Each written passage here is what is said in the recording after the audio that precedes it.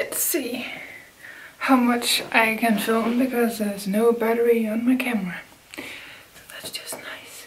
Hi guys and welcome back to my channel. Today we're going to do the first update to my single ladies and my man Matte project pan that I'm doing with Amanda, Jessica, Brandy, Floralisa and Amber F and I'm very excited to bring you this update even though I don't have any band. So that's kind of a spoiler for the whole update actually but I'm really excited because I do have some tips and I'm really excited to talk about what I have been doing for the last month. If you're not already, you should follow the other ladies because they are doing so well. I'm so impressed and I kind of envy them because they have pan and I don't. So, so this is a project where, wow, so this is a project where you choose one matte palette and then four single shadows. This project overall doesn't have an end date, so we kind of end it when we don't have any matte palettes left in our collection and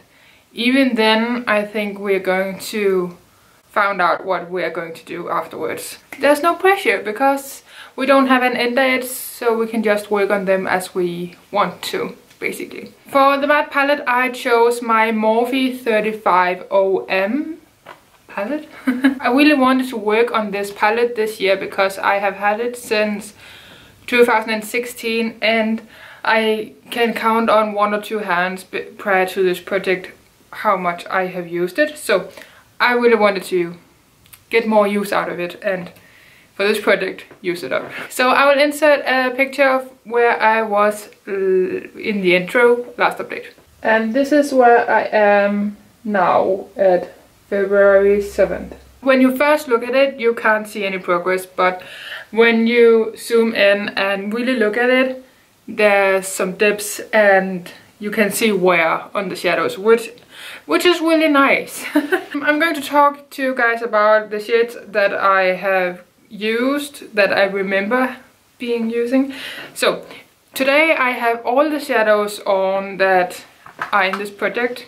Not all of these basically, but from every single palette, pan, whatever. I usually set my eye primer with this shade. I'm just beginning to do that because my primer is not, uh, my primer is acting up on me, so I have begun to uh, set my eye primer. And I am using this one because this is a very, very pale uh, light color and I'm very pale if you can't tell. I use this as my transition shade, this as my crease shade and then these are my outer V shades.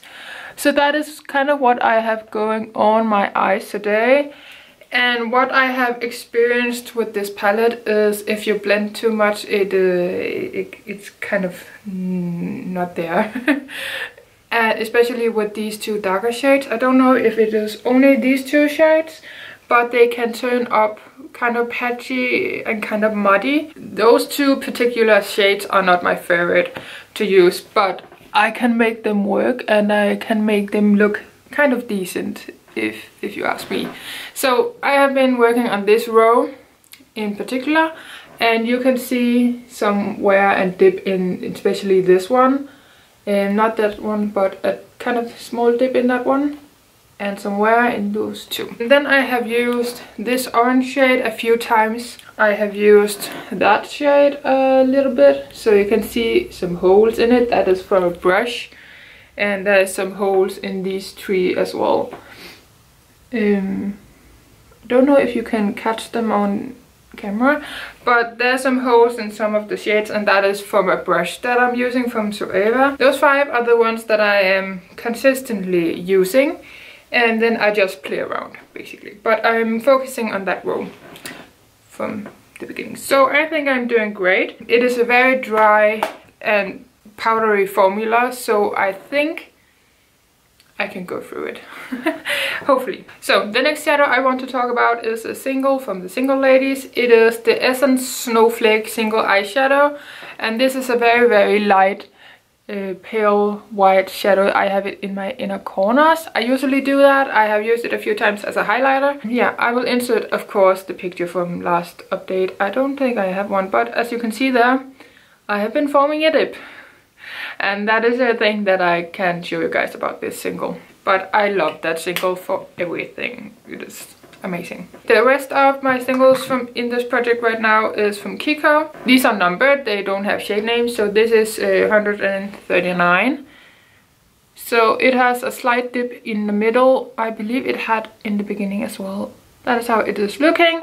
I have it on the middle of my eyelid right here to blend the gold and the brown together.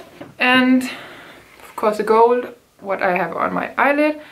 It is the Kiko High Pigment in 18. And then I have the Kiko High Pigment in 54, which is a purple. And I have that on my lower lash line today. So I really, really love these eyeshadows. They do need a base. They really do. But again, it's kind of a pigment shadow, so you need a sticky base for them to show up. Oh, my nose is running. How disgusting. That's kind of my update. I don't have really much to talk about and I don't have any battery, as it seems. So I hope you guys enjoyed this update and I hope you guys are going to follow along, follow the lovely ladies that I'm doing this collab with. And until my next video, I hope you will take care.